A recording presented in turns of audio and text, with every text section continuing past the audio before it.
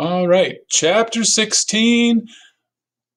The airboat awoke Wahoo. He figured it was coming to get Derek Badger and take him away for medical treatment. Emerging from the tent, Wahoo saw Tuna reading a green book. It was a field guide to Florida mammals. She kept it in her canvas tote bag. With several other books, journals, and sketch pads, Tuna never let the bag out of her sight. Here's our prime suspect, she announced. It's called a mastiff bat. Please stay muted. Eumops glaucinus floridanus. She showed the photograph in the field guide to Wahoo. Yeah, that's the one, he agreed. I'm going to learn the Latin names of all tropical bats starting today. You seen my dad? He went for a hunt.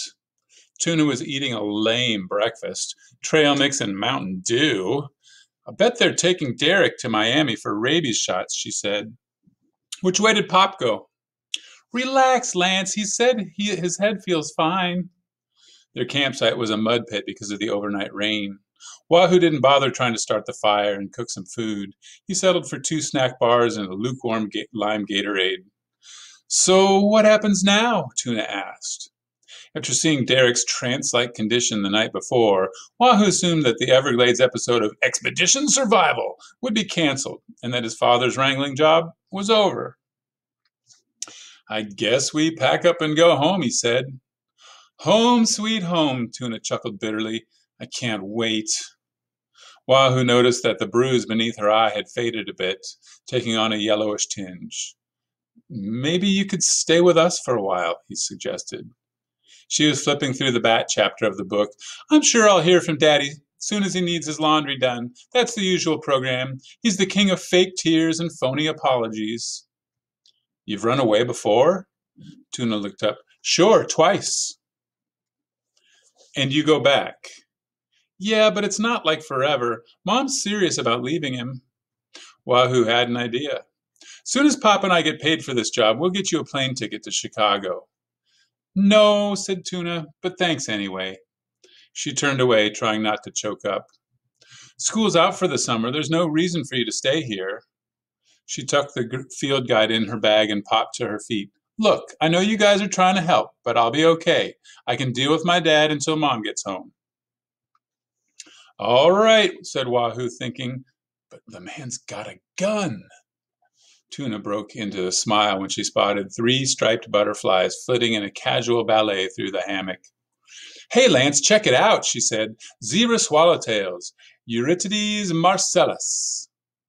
Wahoo wondered if the butterflies were traveling together or had met by coincidence. High overhead, he saw a string of somber turkey buzzards riding the thermals under a mat of gray blue clouds. The sun had been up for some time, but the heavy sky gave no clue it was morning. Wahoo was tired of the lousy weather, tired of being wet. His father stepped out of the scrub holding a pair of Everglades rat snakes. They were good ones, five footers, dark orange with grayish stripes and butter colored underbellies. Look who I found, he said cheerily. Biters? asked Wahoo. Big time. Tuna agreed that the snakes were beautiful, but she kept a distance. All right, Lucille, said Wahoo. Tell us what Mr. Linnaeus would call them. Wait, I'm trying to remember. She closed her eyes in concentration. The scientific name is Elaphe something or other. It'll come to me. Wahoo grinned. Way to go, Pop. I think you stumped her. Mickey wasn't listening to the conversation. He heard something nearby, the heavy snapping of branches. We got a visitor, he said. Link, the hulking airboat driver, stalked into the clearing. He wore a grime streaked undershirt, faded Wranglers, and rotted hiking boots with no laces. He scanned the campsite, sneering slightly when his eyes settled on Mickey and the snakes. Where's he at? Link demanded. Who? Wahoo said Wahoo. The TV man. Tuna stepped forward. You mean Mr. Badger? Yeah, he be gone. Wahoo's father muttered, If only. He had an elaphe twinned on and, and excuse me, he had an elaphe entwined on each arm. Keep them things away from me, Link warned. Ah, don't be a baby. TV man be gone from his tent this morning. Tuna said, Maybe he went for a hike. Or maybe he out here with you. Mickey laughed. That's right, Sherlock. We kidnapped him in the middle of the night. I remember now. Pop, lay off, said Wahoo. Link was built like a refrigerator, and he didn't have a rollicking sense of humor. They told me to come and get him. The airboat driver went on. Take him back to Sickler's. Hospital sent an ambulance on account that he got bit by an otter. Actually, it was a bat, Tuna interjected. Wahoo couldn't imagine why Derek Badger took off, or where he might have gone. The tree island wasn't very large, maybe 15 acres. We'll help you find him, he said to Link. While Mickey bag- bagged the rat snakes in a pillowcase, Tuna and Wahoo varnished themselves with bug spray. Link accepted a Gatorade, which he downed in four gulps. Then they all set out through the vines and the hardwoods in search of the missing TV reality star. Wahoo's father led the way. Before long, they crossed paths with the director and the crew, accompanied by a distraught Raven Stark, her red hair laced with spider webs. We've looked everywhere, she lamented. Derek's gone, vanished. Not possible, said Mickey. The director pulled him aside and whispered, What if a bear got him? Florida bears don't eat people, plus there'd be blood and bones. Then he must be lost out here someplace. Mickey said, He's not lost, he's hiding. They were gathered out at the low, skinny tail of the island where the trees thinned out. Hiding, Raven exclaimed. From what? She turned and called Derek's name. Wahoo and Tuna felt obliged to do the same. There was no response. Mickey advised the group to split up once more and work their way back toward the main camp. Here, take a walkie talkie, said the director. That's when they heard the loud growl of the airboat engine cranking up. Link at first appeared confused, then angry. That's mine! he bellowed and lowered his shoulders, crashing like a mad buffalo through the underbrush. The director cursed, and Raven let out a despairing moan. And uh, Wahoo and Tuna could hardly believe what was happening. Mickey Cray shook his head. It just gets better and better. The executive producer of Expedition Survival was a man named Gary Germain, a crabby, bullet headed fellow who drove a canary yellow Ferrari and wore loafers that cost $900. The sprawling office from which he ruled his television empire was in Studio City, California, not far from downtown Los Angeles.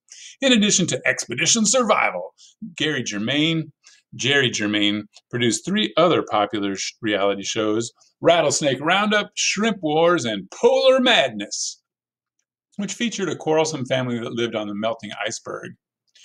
Gary, Jerry Germain seldom watched his own TV programs, but he paid close attention to the budgets. Derek Badger was a constant problem, and his latest salary demands had angered his bosses at the Untamed channel, which broadcast all of Jerry Germain's reality shows. Having recently purchased an expensive vacation home in Aspen, Colorado, Jerry Germain wanted to remain on good terms with the Untamed channel. Therefore, it was his view that Expedition Survival would do just fine without Derek Badger, whose frequent tantrums and mishaps were expensive. What do you mean by gone? Jerry Germain asked Raven, who had contacted him on her satellite phone from the Everglades. Last night he was bitten by a bat. What else is new? A seriously ticked off bat. Derek was bleeding all over the place, Raven said. And this morning, when we checked his tent, he was gone. Hmm.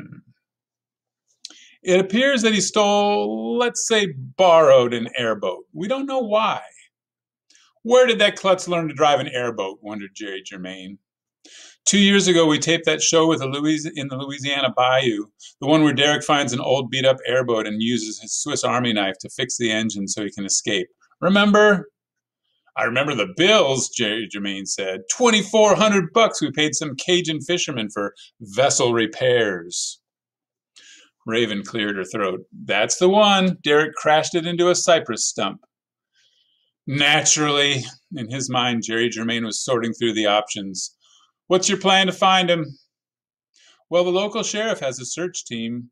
Absolutely not. I don't want to see this all over the media. But he's hurt, Raven said. He needs help. How badly hurt? You think he might die? Jerry Germain had pondered such cold hearted fantasies before. It would be a humongous night for the show's TV ratings if Derek Badger failed to survive one of his survival expeditions. it would also open the way for him to be replaced with another actor who wasn't as pompous, demanding, and clumsy. Plenty of guys would jump at the job for half the pay. Raven said, It's possible the bat had rabies. Derek could be losing his mind. Out of curiosity, Jerry Germain Googled rabies symptoms on his laptop. we need to keep this ultra hush hush, he said, especially if your boy's gone off the deep end. The show definitely doesn't need that kind of publicity. he could easily imagine the scene Derek blathering and wild eyed as deputies hauled him out of the marsh. There was no telling what kind of nutty nonsense the guy might spout with the news cameras poking in his face. The Untamed channel was a family network run by fussy business people who didn't like being embarrassed. No cops yet, Jerry Germain said fi- firmly. Raven was silent on the other end. Get the crew together and do what you can to find him. And if we can't, Raven asked, then call me back. We'll need the helicopter, Jerry. Whoa there, Missy. Badger's contract says he gets a chopper ride back to his hotel every night. It doesn't say a word about chartering one of those fuel hogs if he happens to go bonkers and runs away. You know what it costs to keep a helicopter in the air? $800 an hour, Raven said, last time I checked. More like a thousand.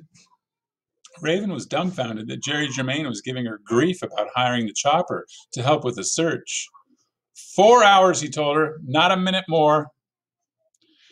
But this is a man's life we're talking about. Good luck, said Jerry Germain. He hung up the phone and continued reading his office laptop.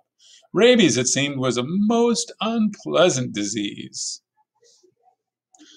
By the time Sickler's two other two airboats arrived at the tree island, Derek Badger had been gone for more than an hour, and Link was seething. Another 30 minutes was spent debating how and where the search should be conducted. Eventually, it was decided that Mickey Cray and Raven Stark would go with one driver, while Link and the show's director would ride with the other. Nobody anticipated that the first boat would break down and require towing by the second. The result was a waste of the entire morning that put everyone in a testy mood. Four big cruiser airboats were called in from the Miccosukee Reservation to haul the crew, its video equipment, and the catering team back to Sickler's dock. Over a tense lunch of barbecued chicken wings provided by Sickler at the criminal price of $8 a box, Raven and the director studied a map of the area while Link fumed. Mickey decided to start packing the gear in the truck. Where's the girl? he asked Wahoo. Inside the shop, go fetch her. We're out of here. Just a minute, dear. It was Raven peering over the rims of her glasses. You're not seriously quitting, are you? Mickey was taken by surprise. I figured the job was over now that Mr. Beaver turned Jackrabbit, but if you want to pay me to hang around, ma'am, I'll gladly oblige. Link spoke up. Let him go. We don't need him. I believe we do, said Raven. She tapped a finger on the map.